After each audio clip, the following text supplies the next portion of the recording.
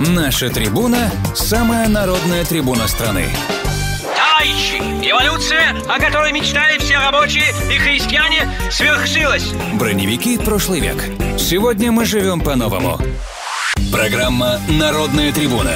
Открытый микрофон для всех, кто желает высказать свое мнение. Свое мнение. Телефон прямого эфира 847 400 5200. Здравствуйте. Я имею что сказать. А я думаю, что... Кричать не обязательно. Работают все микрофоны. Каждый может... сказал, не высказал, сказал. Добрый день, уважаемые дамы и господа. Вы слушаете радио «Народная волна» на частоте 14.30 М, 99.1 FM, на нашем веб-сайте radio.nvc.com и на нашем YouTube-канале «Радио NVC». Сегодня вместе со мной на Народной трибуне Инна Сергеевна. Здравствуйте, Инна Сергеевна. Добрый вечер. Здравствуйте. Ну, наверное, нам никак не обойти стороной тему, а, которая покрывает на самом деле весь мир которая очень остро и широко обсуждается и в разных регионах используется по-разному в разных частях света. Тут одна хорошая шутка на Фейсбуке была. Э, как же... А, человечество разделилось на две группы. Одна группа отмывает руки, а другая группа отмывает деньги. Согласна, да. Грустная такая шутка, но а, она, по-моему, соответствует реалиям.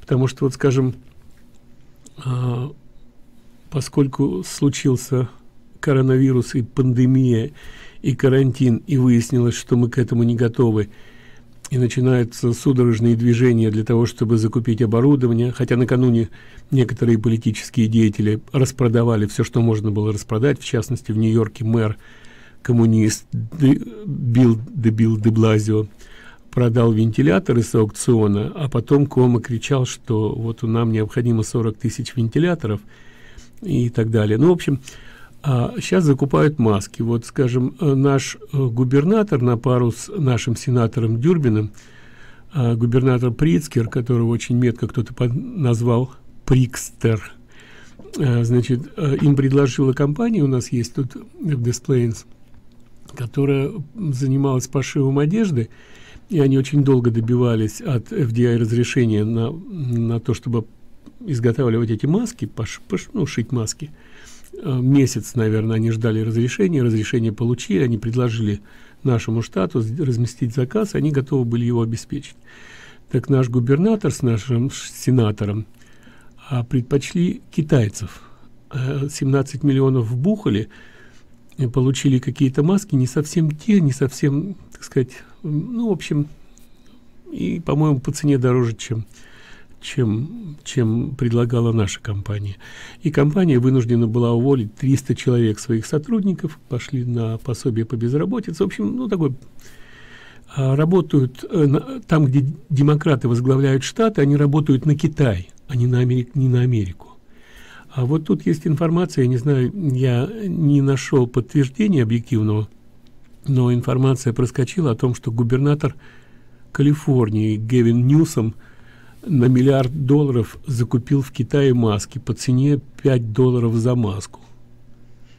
То есть, э, правда, я не знаю, получили они эти маски или нет, но, скорее всего, процентов 5-10 от этой суммы губернатор Ньюсом, Ньюсом получит от китайцев на свою избирательную кампанию. В общем, э, какое-то странное, странное такое сплетение между демократической партией и китайцами. Вот они друг, друг на друга работают, а у них один единственный основной враг – это президент Соединенных Штатов Америки, ну и американский народ, соответственно. И вот они так дружно, я сегодня включил CNN, а, значит, президент заявил о том, что это китайский вирус, что вирус э, вышел из Юхани, из этой лаборатории. То есть он не говорит о том, что это было специально сделано. Нет, он говорит, ну, возможно, это утечка, там как-то случайно произошло. Так CNN занимает сторону китайцев. Они говорят, ну нет ведь доказательств прямых, документальных, что это вот вышло из этой лаборатории. То есть они обвиняют президента во лжи и тем самым покрывают Китай. Ну, в общем, как как-то вот так. И, и я не, не думаю, что а, эта война была специально сделана. Ну, кто-то утверждает, что это с единственной целью, чтобы э, свергнуть президента Трампа. Я не могу этого утверждать, у меня нет для этого доказательств, но я точно могу сказать, что китайцы и демократическая партия используют эту ситуацию на все 150 процентов чтобы, попыт... чтобы избавиться от сегодняшнего президента. Вот это 150%, потому что все их действия, все их, все их поведение свидетельствует об этом. Вот примерно такая ситуация у нас. Что у вас, ну, это еще не все, дальше мы, может быть, еще поговорим, что у вас происходит. У нас тоже все вполне себе безрадостно, потому что Верховный главнокомандующий уже в третий раз обратился к народу, и в третий раз очень пространно дал всем понять, что все под контролем, и печенегов победили, и половцев победили, и волноваться не о чем, мы все будет чудесно, и коронавирус мы победим. Да люди ждут каких-то конкретных действий, конечно, народ в ожидании, потому что э, ситуация чудовищная вот из-за чего. Коронавирус-то Господь с ним. Понятно, что вирус неприятная штука, но истерия, которая нагнеталась СМИ так искусно на протяжении двух месяцев, конечно, довела людей до ручки. То есть я вижу, это уже доходит до шизофрении. Вот я позавчера заходила в магазин, понятно, что везде разметки, значит, все в каких-то респираторах, все в перчатках, все опрыскано аэрозолями, значит, социальная дистанция, все жестко. Какая-то бабулечка чихнула там, в дальнем левом углу, вынесла пол магазина. То есть люди находятся на низком старте в состоянии какого-то жуткого напряжения. И начинают у себя обнаруживать, особенно сейчас не сладко ипохондрикам, э, ребята, которые и так у себя в мирное время находят все болезни по алфавиту. А когда каждый день люди видят э, сводки, как сводки с фронтов буквально, да, что сколько погибло, сколько заразилось, сколько отвезли в больницу, сколько привезли. Я понимаю, что ситуация серьезная, но вот это нагнетение искусственное, я считаю, что это самое страшное преступление. Люди находят... Это самый страшный удар, во-первых, по иммунитету. То есть люди, которые в заперти месяц сидят и никуда не выходят, а здесь с этим достаточно жестко. То есть, во-первых, есть штрафы, во-вторых, введены эти изумительные QR-коды, которые тоже получить, это целая история. Ты должен доложиться по форме, значит, где ты проживаешь, прописка, ИНН, и СНИЛС и, и, и все прочее, чуть ли не сдать отпечатки пальцев. И только потом, если система соблаговолит, тебе будет дозволено куда-то отлучиться на 24 часа, э, если ты указал вескую причину. Это тоже злит людей, потому что все прекрасно понимают, что карантин-то когда-нибудь закончится, а собранная информация может быть очень по-разному использована прекрасной российской властью. Она никогда не гнушалась строить здесь такой электронный концентрационный лагерь. Все понимают, что это пахнет керосином. Тем более на штрафах я за первые сутки слышала, когда Собянин отчитывался, там уже какие-то миллиардные цифры, и это только когда они начали штрафовать автомобилистов. То есть изумительная система, вся Москва, как любой крупный город, утыкана камерами, и, конечно, масса людей, которые вынуждены э, ездить на свои предприятия, а многие выживают как могут, потому что вот мы начали с этого разговора за кадром. Индивидуальные предприниматели просто вешаются. То есть это люди, которые занимались не только ресторанным бизнесом, там, салонами красоты и туристическими фирмами, а всем остальным. И эти ребята, у них гигантские задолженности по арендной плате, у них огромные серьезные обязательства по зарплатам своих сотрудников. И верховный главнокомандующий не удосужился объяснить, что с ними будет. То есть вот это его неизменная улыбка и заверение, что, ребят, все решим, вы не переживайте, это просто каникулы, просто майские праздники, опять же, проведите с семьей, с детьми, обнимитесь, в конце концов. И осталось чуть-чуть, до 12 мая, там поглядим за второй месяц уже у людей накапали серьезные цифры. И вот это вот безумное внутреннее напряжение, оно привело, во-первых, к тому, что страшный рост э, домашнего насилия, я не знаю, есть ли это в Америке, у нас статистика просто чудовищная. То есть э, доблестные мужчины, которые потеряли работу, потеряли перспективу и не понимают, что будет завтра, начали просто пить, избивать жены детей. Вот э, к чему привела эта чудесная изоляция. Мало того, я прекрасно осведомлена как разрушается иммунитет. Ну, вот люди сидят с законопаченными окнами, все боятся простудиться, не дай Господь какой-то сквозняк, да, у многих нет денег на хорошие овощи и фрукты, отвратительное питание, изолированное помещение. Через 2-3 недели еще эти люди выйдут на улицы, и, безусловно, все они заболеют. Вот я просто в этом убеждена однозначно, потому что была любопытнейшая ситуация две недели назад, когда Собянин очень жестко оповестил всех о гигантских штрафах, о том, что все будет сурово, ни в коем случае не, не значит, шаг влево, шаг вправо, расстрел. И часть людей, сделав себе QR-коды и оформив официальные пропуска, поехала на работу на метро. Им было обещано, что если все в соответствии с законом оформить, можно будет беспрепятственно доехать до работы. А в метро случилась следующая ситуация. Полицейские, изумительно, если вы видели, может быть, видео или какие-то фотокарточки, они достаточно расслабленно переговариваясь между собой, говоря по телефону, нехотя перелистывали эти бумажки. И исключительно по их вине за буквально 15-20 минут а, образовалась огромная, не просто очередь, это была давка и столпотворение. Это было вот две недели назад, после чего все вирусологи сказали, что, ребят, мы вас поздравляем, ждите, поскольку инкубационный период 14 дней, у вас э, плата заболеваемости будет как раз в первых числах мая. Собянин в первых числах мая, то, то бишь сегодня, отчитался, что мы вышли на плата, это пик заболеваемости, и якобы это был такой естественный ускоренный рост. Но я вижу, что исключительно действия властей некомпетентных привели к этому результату. И, конечно, люди скоро будут браться за вилы. У нас уже несколько серьезных вспышек. Бунтуют э, вахтовики в Якутии, это люди, которым тоже нечего есть, суровые мужики, которые говорят, давайте нам начальство, давайте в конце концов что-то решать. Бунтует Кавказ, пока это все локально подавляется.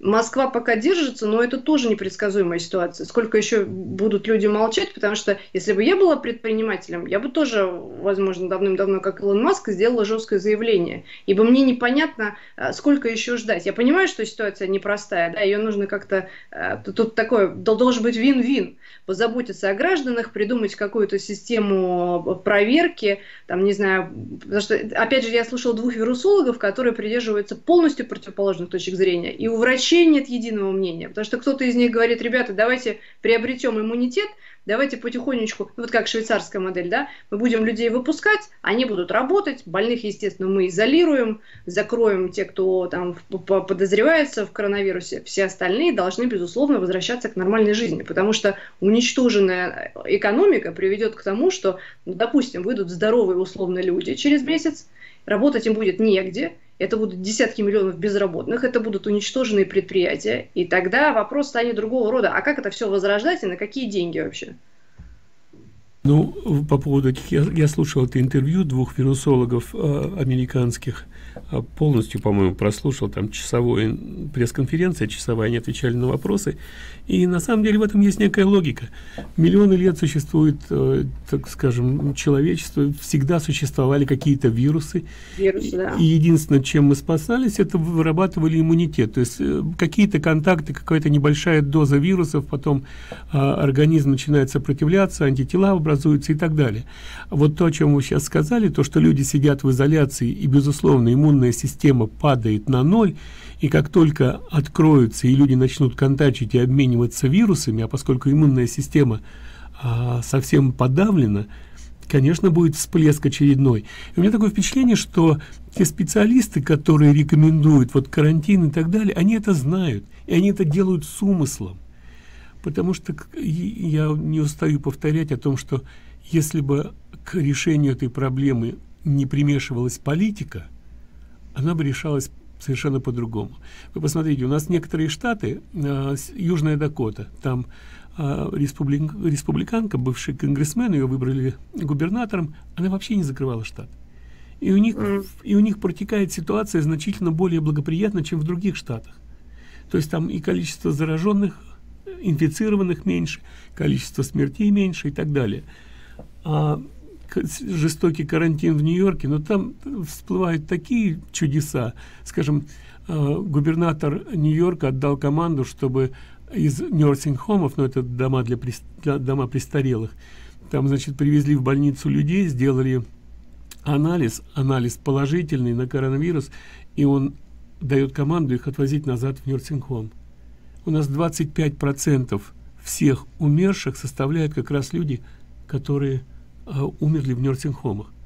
Но если mm. человек, ну вы понимаете, что привезли людей, установили, что они инфицированы, их возвращают назад в замкнутое пространство, где они ну, да. общаются. То есть у меня такое впечатление, что это или безумие, и причем из него делают героя. Он каждый день выходит, одно время там пресса начинала его толкать, подыгрывать, что вроде как бы он будет кандидатом возможным а, в президенты, потому что из него сделали героя. Он так сказать, там бурную деятельность развел. Но если посмотреть фактически, что произошло, я уже, мы с вами говорили до эфира, я говорю, каждый губернатор обладает определенными полномочиями, причем широкими полномочиями. В их распоряжении те же самые министерства на штатном уровне, в их распоряжении национальная гвардия. То есть губернатор принимает решение. Нет, губернатор не может. Они все показывают пальцем на президента. Президент должен.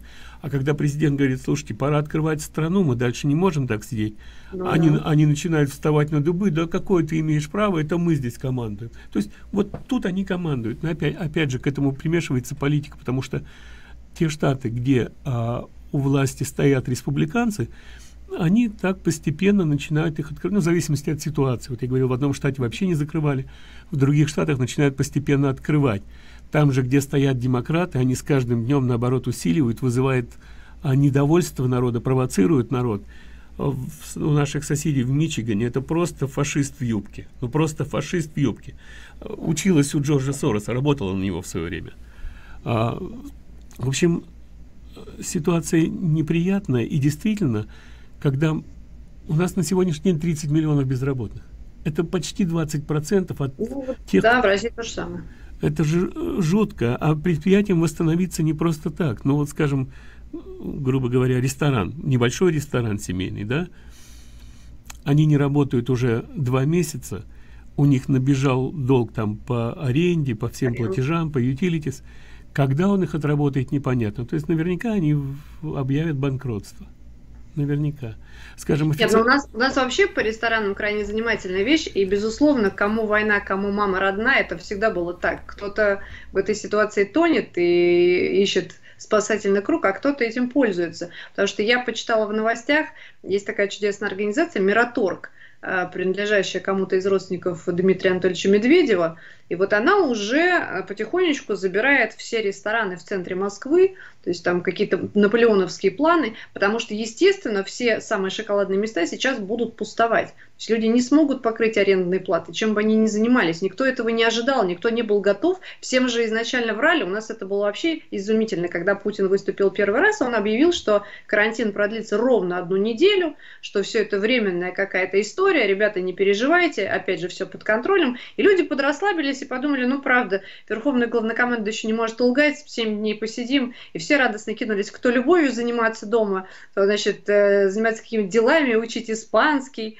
проходить какие-то онлайн-курсы, было так, запас энтузиазма был неиссякаем. А когда через неделю стало понятно, что это вранье от начала до конца, и они планируют все это продлевать, больше того, они, когда очень аккуратно говорят о снятии карантина, там же совершенно драконовские методы, и они смертельные для тех же рестораторов, ибо никто не отменяет социальную дистанцию. Они все это оставляют. И собираться можно будет даже в крупном парке там не больше 50 человек на расстоянии полутора метров. То есть если ты заходишь в любимый ресторан и сидишь на, напротив, а, вдалеке от супруги, в перчатках и в маске, это какая-то очень сомнительная история с домашним ужином. А, якобы вирус убивает летние, летние солнечные лучи, и якобы, возможно, будут какие-то открытые веранды, но все это тоже под большим вопросом, и поскольку крайне противоречивая информация, людей это и раздражает. Я слушала, там было несколько вирусологов, в том числе и немецкие ребята выступали, и австрийские, и они действительно бьются сейчас стенка на стенку, потому что часть из них доказывает, что, ребят, ну мы не можем в стерильных условиях э, допускать, чтобы люди еще сидели месяц дома. Это приведет все равно к, к повышенной заражаемости. Все равно люди высидят. А потом, вот у меня несколько случаев было, люди сидели три недели безвылазно дома, исключительно заказывая еду у доставщиков там, пиццы или из каких-то проверенных ресторанов и мест, да, все равно заразились на ровном месте, совершенно никуда не выходя. То есть такая для меня тоже странная мера предосторожности, при том, что они не пожилые люди, они не в зоне риска, и у них нет сопутствующих заболеваний, никакого сахарного диабета, там и сердечных э, заболеваний и же с ними. Здоровые молодые ребята 30 лет, но тем не менее вот так получилось. То есть тогда вопрос, а в чем бонус-трек а, от сидения двухмесячного дома. Значит, кто-то делает передел рынка, воспользовавшись ситуацией. Мало того, еще обвалится банковская система, потому что из того, что вижу я, люди не в состоянии будут закрыть ни один ипотечный кредит. Ну, то есть им ни с чего. Они же все перекредитованные машины кредитные, айфоны, куча каких-то э, бизнес-моментов. Получается, что банковская система тоже должна быть кем-то перезапущена. То есть Абсолютно. Такая. Абсолютно та же самая ситуация. Пока это еще не, не, э, так сказать, деньги, которые вбрасывает правительство, оно, оно как-то немножко поддерживает банковскую систему. Но еще раз говорю, скажем, у нас 30 миллионов малых бизнесов люди, которые на payroll, допустим, могут а, подать на пособие по безработице, уже 30 миллионов сидят на пособии по безработице. Ну, а скажем, а те владельцы малых бизнесов, которые работали не а, на, ну, как бы получали доход, от дохода жили, они даже не могут подать на пособие по безработице, то есть это люди, которые обречены, я не знаю, как существовать.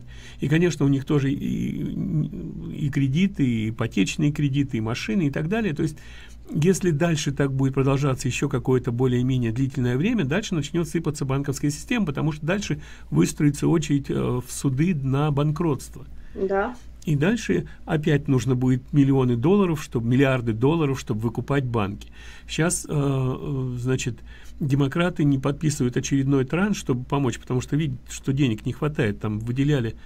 Я сегодня слушал э, Карло, Лэри Карло, советник по экономике, президента. Он назвал цифру 109 миллиардов долларов выделили малым бизнесам. А мне подумалось, ни хрена себе 2 триллиона там 300 миллиардов долларов выделили вот на эту всю лабуду. Это один транш а до этого было еще два транша.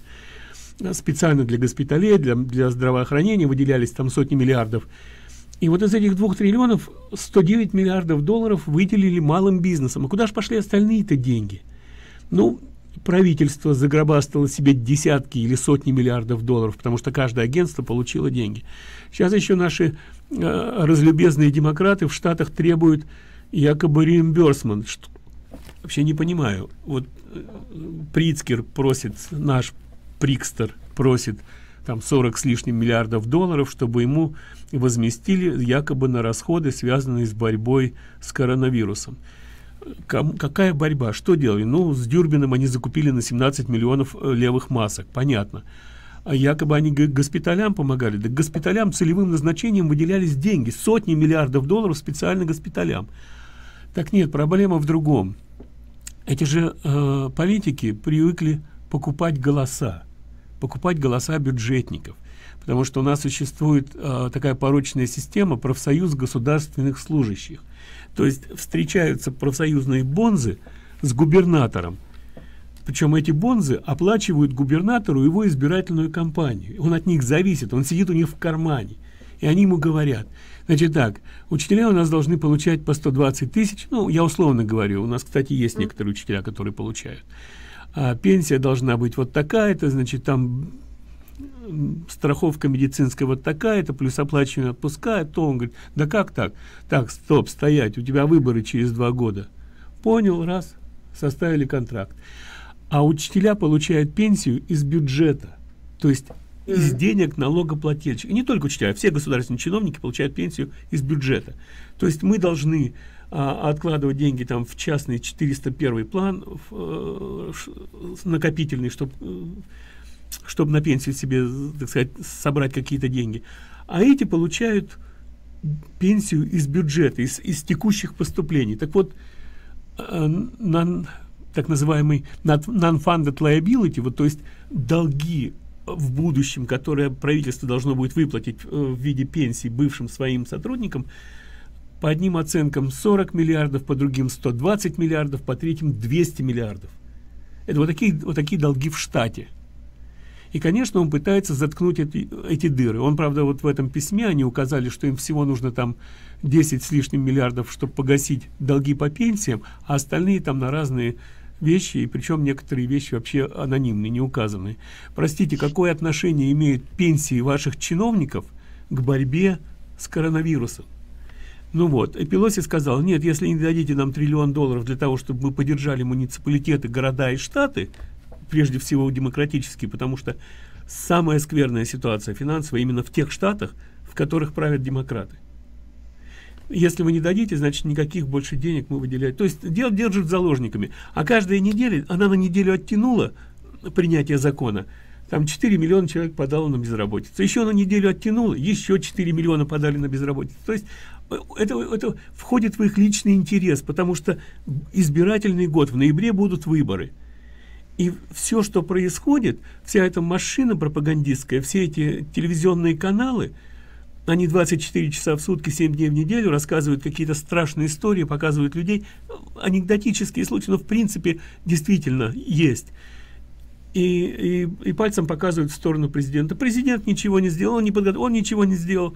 Ну, и, в общем, пропаганда работает, так что боюсь, с другой стороны, у них нет кандидата, выживший из ума э, насильник, как выясняется. Но он всегда был так вроде дурачка-клоуна. Ни одна проблема, которая там стояла перед Сенатом, он везде был неправ. Ну, ни одну глобальную проблему он возглавлял комитет по международным отношениям, и, и все мимо денег, все мимо денег. Окей, так или иначе мы должны прерваться, сделаем небольшой перерыв, и после перерыва Вернемся, продолжим. Если будут вопросы, я напомню номер телефона и, может, пообщаемся с нашими радиослушателями. Возвращаемся в программу «Народная трибуна». Напомню, со мной сегодня в эфире Инна Сергеевна. Телефон в студии 847-400-5200. И давайте, наверное, попробуем принять первый звонок. Добрый день, пожалуйста, в эфире.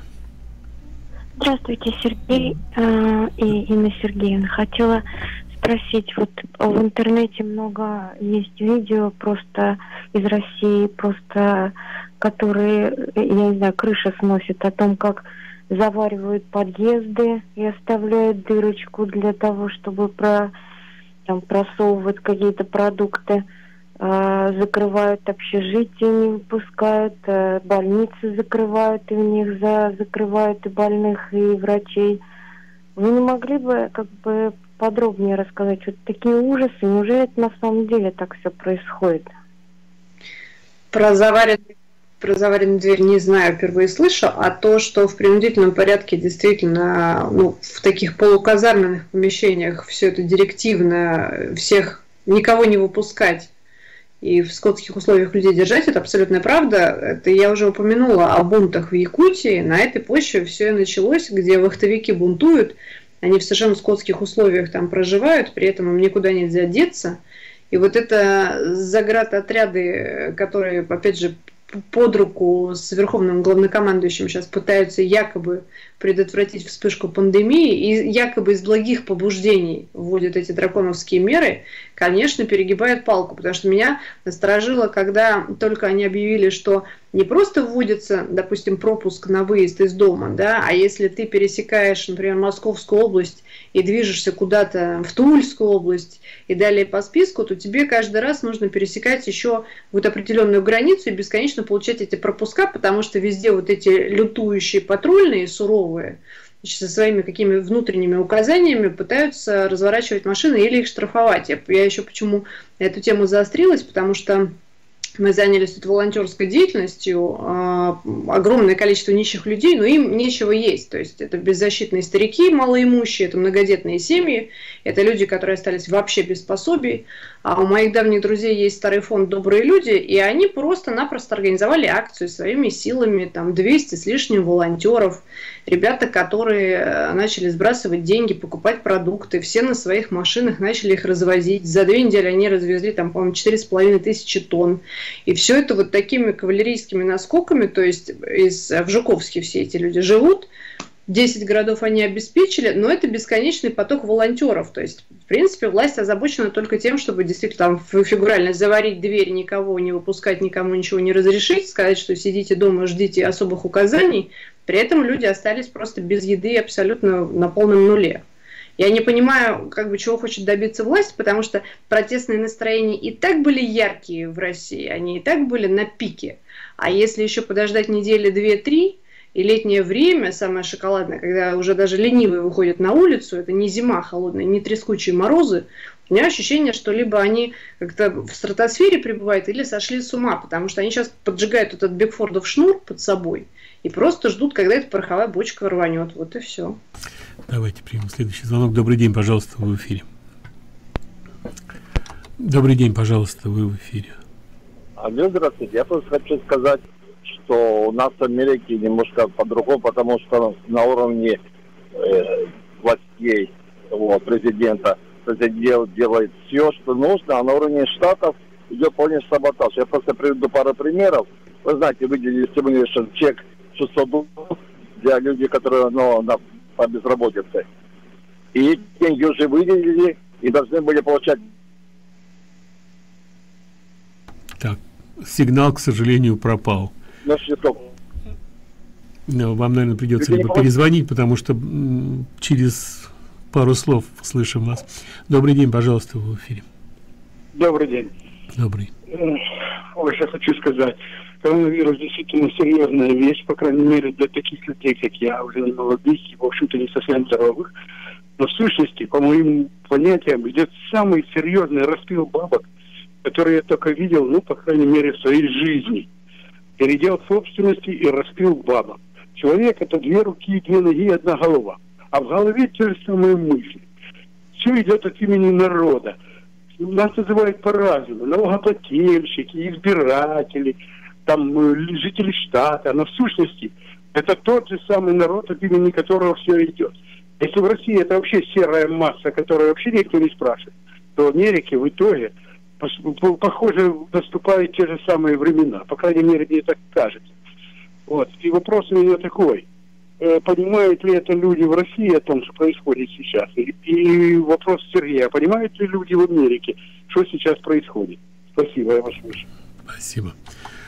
Ну, за Россию сказать ничего не могу. В Америке э, кто-то понимает, кто-то не понимает. Вообще интересно, ведь, ну, понятно, что люди склонны к левому мышлению, безусловно, э, поддерживают точку зрения, которая э, противоречит высказываниям президента, его чаяниям и так далее. То есть это по партийной линии. Я уже обозначил, что те штаты, в которых сидят губернаторы-демократы, они, как правило, саботируют идеи президента. То есть, если он говорит, если он выступил в свое время еще 31 января и э, перекрыл сообщение из Китая, то есть, чтобы ограничить доступ э, китайцев к нам, потому что э, есть такая информация, что когда в Хуане все это возникло, Китай изолировал этот город, то есть им запре их а, отрезали от остального Китая но зато э, у них э, между сообщение между Хуанем и разными странами оставалось прежним. И несколько сот тысяч китайцев вот в тот период, когда Хуань был закрыт на карантин, прилетели в Соединенные Штаты Америки. Несколько сот тысяч, это факт. Ну, оценки разнятся, там кто говорит 350, кто говорит 750, ну, неважно, но это факт. Значит, президент издал э, президентский указ прекратить полеты из Китая. И вся пресса, все демократические лидеры, включая нынешнего кандидата в президенты от демократической партии, выжившего из ума Джо Байдена, обвинили Трампа в расизме, что якобы на расовой почве э, Трамп это предпринимает.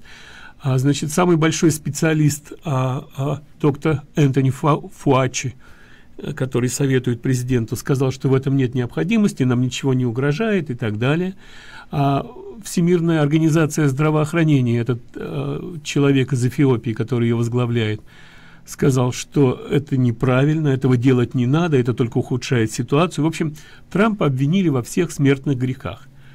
А сегодня Нэнси э, Пелоси говорит, что у нас бы этого не было, если бы Трамп запретил принимать граждан США, которые остались в Китае. Министерство иностранных дел предприняло колоссальные усилия для того, чтобы вернуть граждан, находящихся за рубежом. Но чтобы не бросить их на произвол судьбы, понимая, что ситуация-то аховая, везде карантин, гостиницы закрываются, вы же понимаете, жуть, оставить человека в чужой стране э, администрация себе позволить не могла. Поэтому Министерство иностранных дел предприняла колоссальные усилия, чтобы вернуть всех граждан, в том числе и тех, которые находились в Китае. Теперь Пелоси обвиняет Трампа, вот, дескать, у нас пандемия, потому что Трамп принимал граждан США из Китая, а он не должен был этого делать. Ну, то есть доходит абсолютно, до абсолютного абсурда. И вы знаете, а, это срабатывает на некоторых.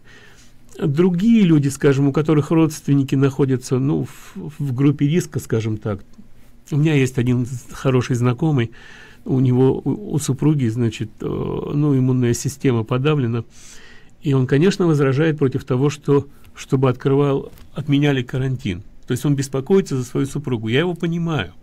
с одной стороны, а с другой стороны, а как же те люди, которые э, остались без средств к существованию, и потом э, то, о чем вы говорили, если людей изолировать, то иммунная система будет умирать.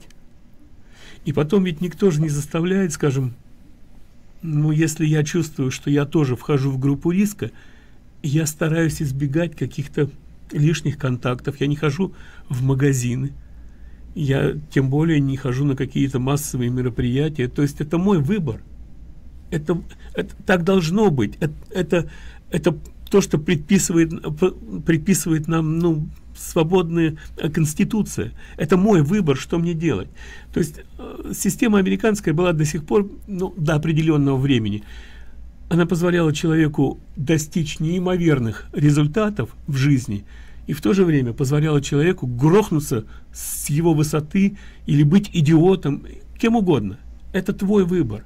На этом строилась, это основа э, этой страны. Сейчас как-то все выглядит несколько иначе. И это печалит. Это печалит и настораживает. То есть э, чиновники могут своим решением превратить нас в заложников. Говорить нам, что мы можем делать, чего мы не можем делать. Ну, в общем, не знаю. Нет, ну тут, тут я действительно согласна с э, Маском. У нас в России просто его слова тут же переврали и представили его как такого экзальтированного эгоиста, сволочь, ублюдка и упыря, который, значит, попирая все человеческие нормы, проклятый капиталист, который хочет денег и только ради денег призывает выйти на работу. Ну, то есть, как это обычно в стиле Соловьева и Киселева, все было выдрано из контекста, и из него сделали какого-то монстра, который ради наживы готов там по головам людей идти вперед и кричит «Долой карантин». А он говорит очень правильные и спокойные вещи. Он говорит, ребят, все это супер, и, безусловно, должны изолироваться люди в группе риска. У кого есть своя голова на плечах, если ты понимаешь, что ты уже не 20-летний студент, и у тебя есть сопутствующие заболевания, посиди, пожалуйста, родной дома. Так случилось, э, страшная пандемия бушует, будь любезен, обезопасить себя в первую голову, если у тебя есть мозги. Но все остальные люди должны как-то поднимать экономику. И он беспокоится не только о своих деньгах, а о рабочих местах, это его заводы, а люди, которые уже попали под сокращение и еще попадут. А у всех у них, опять же, дети, ипотеки и куча обязательств. Вот я смотрю на людей среднего возраста, они сейчас заперты дома, там, с двумя, с тремя детьми. Но это настоящий ад. Мало того, что их принудительно перевели на систему онлайн-образования, которой вообще Россия была не готова. То есть какая-то Мария Петровна, чудесная, пожилая 60-летняя женщина, которая компьютер фактически видит первый раз в жизни. Как она, Петрова, будет учить химии, физики и математики? То есть дома начинаются просто скандалы и драки. Вот я слышу, у меня чудесные соседи, интеллигентнейшие люди живут сверху и снизу, и у них уже начинается разброд и шатание, потому что дети не учатся, они не понимают, как это все э, криво, косо построено в онлайне, учителя к этому не готовы, психуют, дергаются, не могут завести себе электронные журналы, государство себя вообще сложило все полномочия по социальному обеспечению, и тут, конечно, ни о каком иммунитете речи не идет. Люди выйдут разодранные, нервные, дерганные, бледные, э, в, депрессивном расстройстве без денег, и они схватят уже либо э, пневмонию банальную, либо сердечный приступ, вот и все. Вы упомянули Соловьева еще кого-то. А далеко ходить не надо. Э, включи CNN, MSNBC целыми днями а, и говорят, на одной чаше весов человеческая жизнь, на другой чаше весов финансовые интересы. И показывают пальцем на Трампа. Он предпочитает финансовые интересы, рискуя тем самым человеческими жизнями, буквально, в буквальном смысле. То есть так что нам даже не обязательно смотреть Соловьеву, чтобы понять, э, о чем, о чем говорят, практически говорят одно и то же. То есть, да. давайте попробуем принять звонок. Добрый день, пожалуйста, вы в эфире. Добрый день, господа, дамы и господа. Э, вы знаете, Сергей, то, что вы сказали про Пелоси, я еще этого не слыхал сегодня. Но это такой бред сивой, сивой кобылы.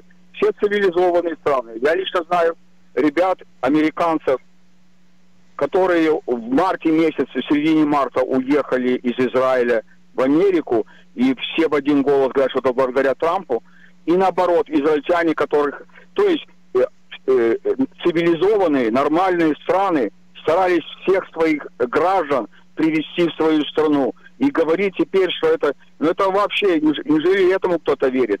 Я бы хотел вас спросить, эм, А, а как у вас было? Россия разве тоже не пыталась привести всех своих граждан? Может, я ошибаюсь, или я не точно знаю. Мне кажется, они тоже пытались привести всех своих граждан в разных странах мира к себе в страну. Не всегда. Огромное, да, огромное спасибо, я вас послушаю по радио. Спасибо. Вы знаете что, я буквально два слова скажу. А, Во-первых, когда услышал это, это, обвинение в адрес президента от Пелоси, я сразу, мне сразу подумалось об Израиле. Израиль предпринимает колоссальные усилия, готов идти на все, чтобы не только живых вернуть, но даже погибших, тела вернуть.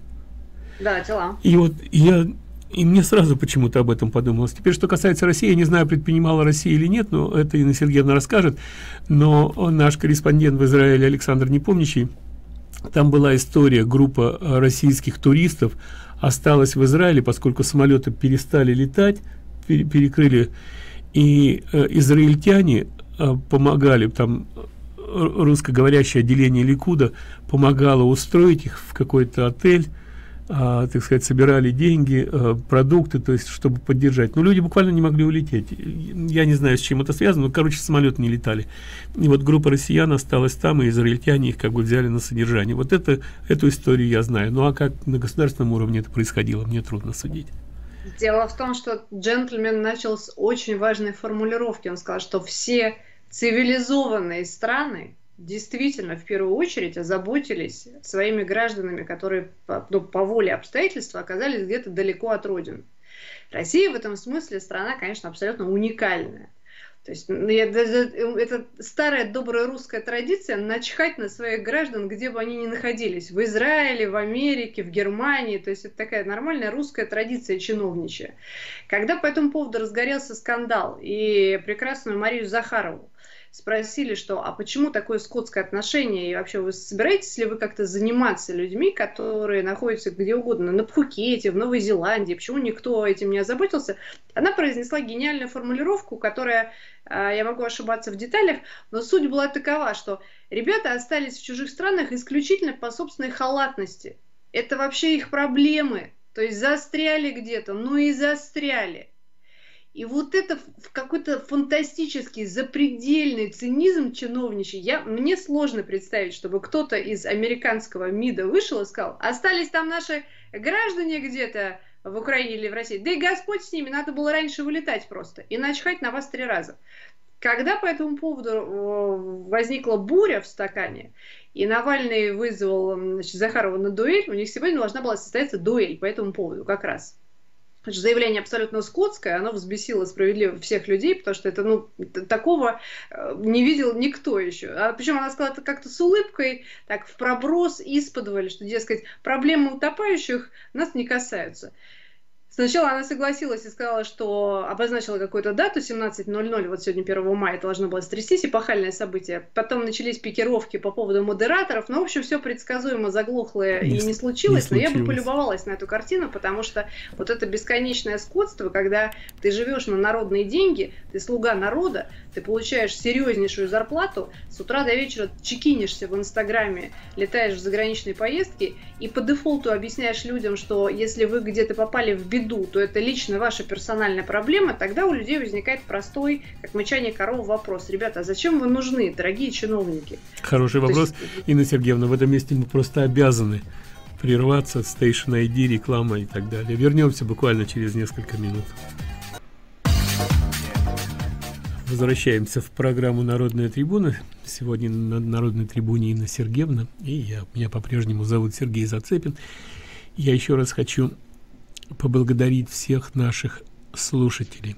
А, они понимают нашу сложную ситуацию, потому что наш бизнес оказался в ситуации, то есть мы не остановились, мы продолжаем работать, но а, бизнесы, которые мы рекламируем, по сути дела, остановились. Мы и тут станция нам сказала, если вы к первому мая не рассчитаетесь, мы вас отключим. Так вот, по сегодняшний день продолжают поступать donation, маленькие чеки или переводы через PayPal от людей, которые нас слушают. Причем не только от, э, ну, как правило, от местных мы получаем чеки, а со всех уголков земли мы получаем небольшие переводы, чтобы поддержать нас, наш бизнес, чтобы мы могли выходить в эфир. Это не решает полностью ситуацию, но мы какие-то деньги там платим за эфирное время, чтобы, чтобы нас действительно не отключили. Несмотря на то, что долги растут, я думаю, что когда-нибудь все восстановится, бизнесы заработают, и мы сможем рассчитаться с долгами. Но меня настолько трогают вот эти, а иногда чеки сопровождаются письмами. У меня спазм, я не могу, я когда начинаю читать эти письма, э, то есть я привык, когда меня ругают вплоть до матом в эфире. А когда люди высказывают слова благодарности, я не могу. Спасибо огромное. Мне кажется, да, мне кажется, ради этого и стоило работать, если такая теплота в сердцах, если такой отклик, если людям так дорога эта станция, значит, все было сделано правильно. И значит, такая теплая, хорошая аудитория, честная, правдивая, отзывчивая. Абсолютно. А по поводу того, что Медведев скупает а, там бизнес или там кто-то аффилированный с Медведевым скупает, а у меня такое впечатление, что Китай потихоньку скупает компании. То есть все, а, по сути дела, все европейские страны США остановились, как бы, не знаю, стаки в свое время грохнулись сильно. А вот информация о том, что в Европе европейские компании Китай скупают, потому что в Китае это все в порядке. У них, по-моему, ну, да. у них бизнес э, просто расцве расцвел. Вон я говорю, наши поддерживают китайский бизнес, губернаторы, демократы, э, сенаторы поддерживают китайский бизнес свой. И вообще странная ситуация. Мы говорим о проблеме об очень серьезной. 90 с лишним процентов э, составляющих медикаментов производится в Китае, получаем из Китая. И тут э, в какой-то момент, когда президент сказал, что Китай как бы должен неправильно поступил, они скрыли информацию, и от этого пострадал весь мир. А Китай намекнул, что вы, дескать, там поосторожнее, а то мы вам перекроем кислород с лекарствами, с медикаментами. И у нас действительно в некоторых госпиталях стали испытывать некое напряжение, то есть нехватка медикаментов. И это серьезно, это, это угроза национальной безопасности. Причем это антибиотики, которые нас постоянно лечат в огромных количествах, какие-то там, я не знаю, ибупрофен и так далее. В общем, массу медикаментов мы получаем из Китая. Доходит до абсурдов, вроде того, что патроны военные получали из Китая. Некоторые компании покупали в Китае, продавали военным, делали большой бизнес. И как бы речь идет о том, что ну, эти же маски можно производить здесь элементарно просто – с одной стороны, нужно получить разрешение от FDA, подтверждение, что разрешается производить маски.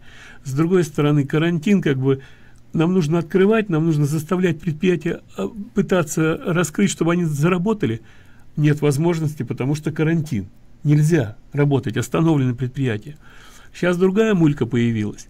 Сейчас э, профсоюзы закрывают э, мясоперерабатывающие комбинаты. И это становится таким тоже центровым центр-пис такой, на телевидении начинают показывать, начинается паника, сейчас люди начнут, ну, нас предупреждают о том, что будет нехватка, дефицит мясных продуктов, люди сейчас ринутся, начнут покупать мясные продукты, а поскольку эта цепочка нарушается, в магазинах образуются пустые полки, и средства массовой информации будут 24 часа в сутки показывать, то есть нагнетать атмосферу, показывать. И все это вина будет нечаянная, как президента Трампа. Вот все к этому а сводится. Вы не обратили еще внимание на крайне любопытную вещь? Вот я давно слежу за новостями по, по мясной индустрии. Там есть крайне любопытный передел рынка. Вот то, то, о чем мы сказали о банковской сфере, да, не так давно, это было, по-моему, лет шесть назад, если я правильно помню, это делал Сергей Брин, и еще несколько выдающихся молодых людей, они занялись выращиванием искусственного мяса. Да, да, да. Такой заменитель да. мясной. Совершенно верно. И когда они этот продукт предложили каким-то крупным компаниям, люди, конечно, оказались не готовы. Ну, во-первых, все сказали, что фу, мы не едим синтетику, дайте нам нормальную баранину и свинину. А теперь, поскольку вирус все-таки якобы выпал из какой-то уханьской летучей мыши, очень легко поставить под вопрос и остальных животных. То есть сначала будет перебой с мясным питанием, потом на арену выйдет какой-то предприимчивый человек и скажет, ребят, не надо суетиться, есть искусственное мясо, давайте употреблять его. Оно питательнее, полезнее, дешевле. И это тоже будет крайне занимательная история. Да. А теперь еще одна версия по поводу э, ин, э, инъекций, вакцины. Значит, вышел на MSNBC Эзекиль Эммануэль, это брат э, Рама Эммануэля, который был в свое время Chief of Staff Обамы, потом был губер... э, мэром Чикаго. Это тот человек, который стоял у истоков Обама Кер, который проталкивал, и заявил, что правда заключается в том, что пока мы не изобретем вакцину, карантин отменять нельзя. Это безумие. Нельзя, да. А вакцину мы изобретем через год, через полтора. Поэтому год. карантин должен быть полтора года. И, и он как бы так, а, как бы так сказал, что в этом заключается правда, а альтернативы нет, все полтора года. И я так подумал, ну что, что, что вообще произойдет за полтора года? То есть экономика стоит, а сельское хозяйство разрушается. Там, скажем, фабрики, мясокомбинаты остановились, значит, траки возить перестали, люди потеряли работу. Фермеры, которые выращивают бычков, должны уничтожить стадо по поголовье, потому что их же кормить надо, это же деньги, а где их брать? Денег-то нет. Значит, все поголовье уничтожили. Те, кто выращивал корм для скота, кукурузы и прочее, значит, запахивают кукурузу, потому что ее девать некуда. А, а что дальше? То есть этот, это, это коллапс такой, самый настоящий. И все ради одной единственной цели – свергнуть президента. Но это же и ничего, и находится, и половина страны это поддерживает. Но потом, скажем, люди, которые работают на мясокомбинатах, это не высоко квалифицированные люди, это минимальная зарплата, я знаю, там 15 долларов в час. А сейчас они получают э, к, плю, к пособие по безработице плюс к ним 600 долларов в неделю от правительства, от федерального. То есть они сейчас получают больше, не работая, да. чем да. если бы они пошли на работу. То есть у людей, у которых этого нет, как бы ну, стимул, у, стимул работать просто вышибли, уничтожили, и все. Любой ценой. В свое время Билл Мар, э, комик известный, сказал, что он, в принципе, э, предпочел бы э, рецессию, чтобы экономика рухнула, лишь бы это позволило избавиться от президента Трампа. И это не просто слова, это настроение. Или, скажем, во время а, первичных выборов в Мичигане делали опрос, и странный такой вопрос был, что бы вы предпочли, чтобы метеорит упал на Землю и уничтожил, или второй срок президента Трампа. Ну, среди демократов делали опрос. А 62% избирателей сказали, что они бы предпочли, чтобы метеорит упал на Землю. То есть я не знаю, э, э, у меня это не укладывается в голове. Это психически ненормальные люди. Они готовы умереть, лишь бы, лишь бы Трамп не, не был переизбран. Ну, как, или как? Или, или я что-то не, не понимаю. Может быть, вы сможете мне объяснить. Вот когда такой вопрос ставится, и когда они вот так отвечают, что это значит? Нет, ну это действительно органическое неприятие такое. Я еще обратила на это два года назад внимание, когда раскол был крайне жестокий, и против Трампа выступили сначала именитые люди, там типа Мадонны или Джорджи Клуни. Это были агрессивные выпады, то есть не просто ты антагонист, и ты не согласен с какими-то конкретными там, проявлениями президента, а ты испытываешь ярую ненависть и физиологическое, органическое неприятие. А это, конечно, под собой подразумевает явные такие экзальтированные проявления. Причем, если демократов, ну, как бы, ведь есть процентов 10 республиканцев, которые а, после а, ноября 16 года, это те, которых а, сами себя, и мы их называем новотрамперы, у которых вдруг что-то перемкнуло в голове. Я все время пытался как-то понять, я говорю, подожди, подожди, ты почему к нему так относишься, как будто он убил твою бабушку? Ну, ты никогда не голосовал за демократов, ты голосовал за республиканцев. Он действительно, он нетипичный президент. А, мне порой тяжело его слушать. Мне не доставляет удовольствия его слушать, его выходки. Но есть какие-то личные качества, которые мне в нем не симпатичны. Но политику, да. которую он осуществляет, история, современная история не знает подобных президентов. Вы посмотрите, начиная там с Бушей, э, с, Клинтон, а, Буш, Обама, а, мы потеряли мы потеряли часть своего суверенитета, мы наполовину уничтожили, мы закрыли там 70 тысяч фабрик. Мы, мы стали 500 миллиардов долларов ежегодно, так сказать, терять в, сторону Китая. Мы перевели туда все производства. Мы доверили свое здоровье китайцам. Мы доверили свою безопасность китайцам. Они не являются нашими союзниками и нашими лучшими друзьями. И все это, э, так сказать, под шумок, под шумок.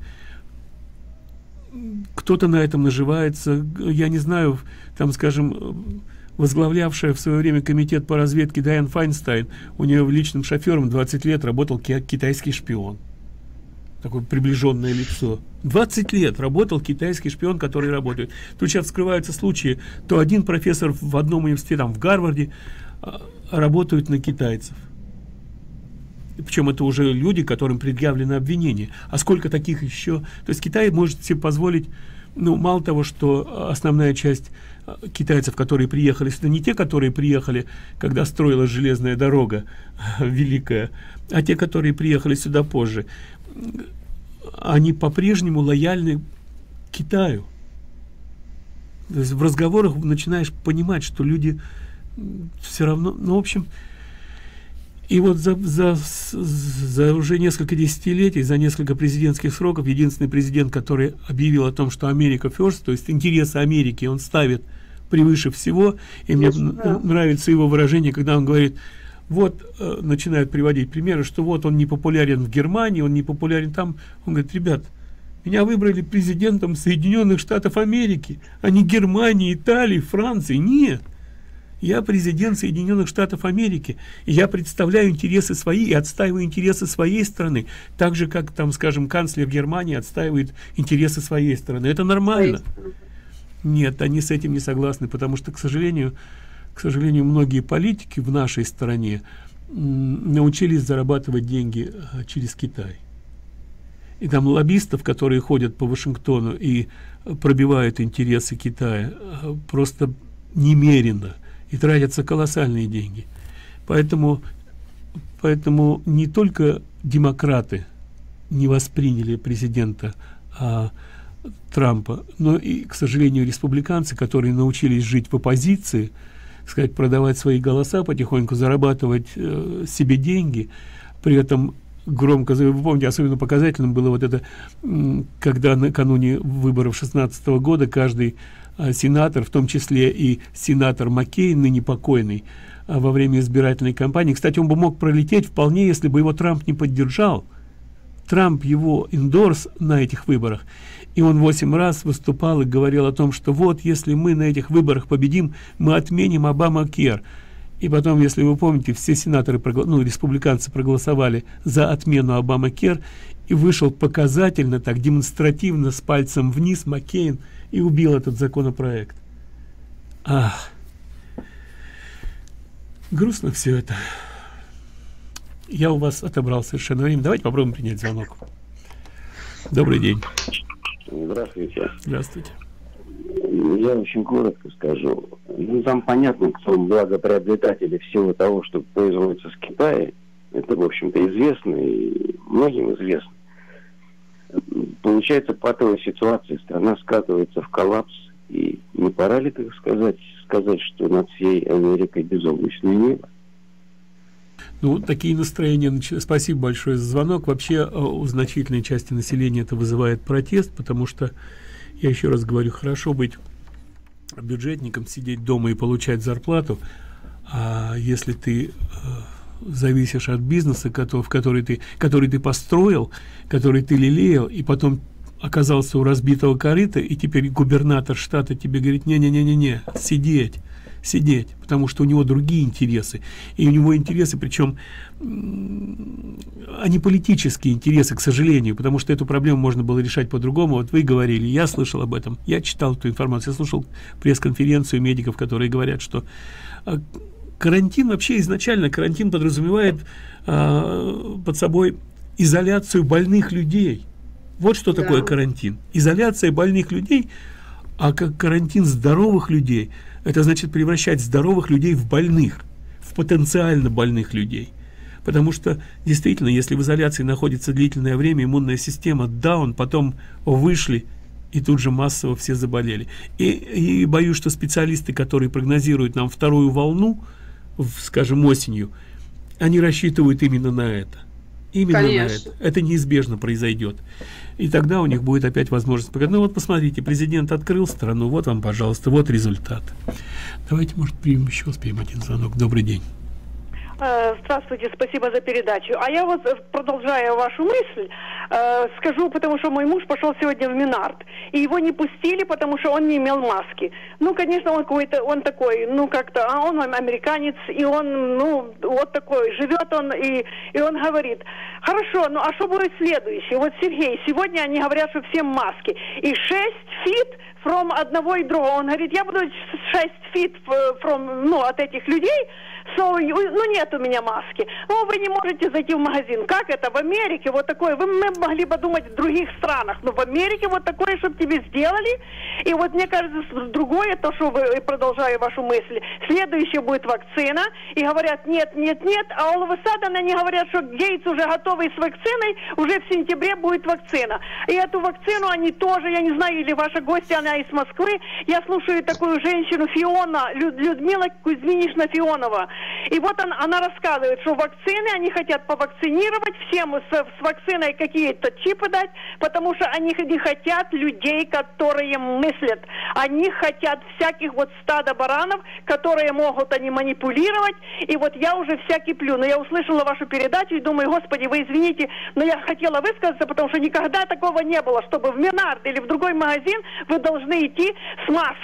Какая маска? И вы правы, что надо изолировать только больных людей. У нас не будет иммунитета. Если вот сейчас вот вылетит, вот хорошо, чтобы не было вспышки, не дай бог, чтобы не было вспышки. Но демократы, они только и ждут, чтобы что-то произошло. Спасибо. Ну, извините, Спасибо. я уже Ничего- переборщила. ничего, Вы уже-. Спасибо вам за передачу, дай Спасибо. вам Бог здоровья. Спасибо. Ну вот примерно такие настроения у одной части населения и диаметрально противоположные. Одни, э, так сказать, потому что хотят, мечтают о том, чтобы Трампа не было, а другие, потому что действительно запуганы и боятся, что очередная вспышка у них есть близкие, родные, которые с, с, с ослабленным им- иммунитетом, там, с сопутствующими какими-то болезнями. Я тоже отношусь к группе риска, на самом деле. И по возрасту, и по состоянию здоровья. Но действительно, вот то, что официально говорят, я отношусь к группе риска, поэтому, ну, стараюсь как-то ограничить. Правда, нам одно время запрещали даже на рыбалку ходить на лодке. Я думаю, ну, господи, какое безумие. Значит, в магазин я могу пойти, причем э, маски э, обязательными стали вот с 1 мая, это как бы э, губернатор распоряжение, с 1 мая все магазины должны, ну, обслуживаешь, если население, то предупреждать, что только в масках. То есть маски с 1 мая, в магазин можно было ходить, э, то есть работали большие магазины, там Walmart, где толпа народу ходит, всякий народ. В магазины ходить можно было, а выйти в парк или выйти на озеро на лодке было нельзя. Ну, это безумие. Свежий воздух, кусочек солнца поймать. Что может быть лучше? Нет, этого нельзя. Ну, то есть, я, я не знаю, порой действительно какие-то странные вещи. А вот самое неприятное, это то, что, то, что мы некогда свободная страна, ну, действительно такой пример свободной страны. Даже с Европой не сравнить. В Европе не, не было того, что было в Америке. И мы превращаемся в такое стадо, которым управляют, которым, которого, которые лишают самых элементарных прав и свобод. Свобода. То есть ты не можешь... э, Американцы всегда могли сделать выбор, хороший или плохой, и нести за это ответственность. Собственно, этим Америка всегда отличалась. То есть Конституция была написана с одной единственной целью – ограничить права правительства. То есть это такой негативный свод законов для правительства. Не, не, не обусловить поведение граждан, а ограничить права правительства. И все это со временем настолько поменялось, и теперь ты, ну, то есть начинается с мелочей, там, скажем, ассоциация домовладельцев тебе указывает, какой высоты ты можешь забор поставить, какого цвета, какое окно поставить, какую дверь поставить, э, какого цвета крыша должна быть, какое дерево ты у себя на участке можешь посадить или какое спилить, получить разрешение на то, чтобы поменять ванную, поменять розетку в деревне, прийти в вилледж, просить, чтобы тебе дали пермит на, вот это начинается с мелочей и заканчивается черт знает чем. Так, поплакался я вам. Я смотрю, у нас все линии горят, но, к сожалению, времени больше не осталось. Инна Сергеевна, огромное спасибо за то, что вы нашли время и До Сегодня, мне кажется, был ваш бенефис. И так здорово, что люди выплеснули, что у них наболело, и особенно трогательно, что вам присылают донат. Да. Я бы хотела еще призвать людей действовать более активно, потому что вы человек все-таки скромный, а радиостанция все-таки в плачевном состоянии. И это здорово было бы, если бы каждый какую-то посильную, пусть даже крохотную сумму, потому что из маленьких ручейков складывается огромная река, и мы были бы вам признательны, если бы вы Я помогли изумительной радиостанции всем, чем вы можете. Потому что вместе люди огромная сила. Я действительно очень благодарен своим слушателям. Спасибо. Спасибо вам.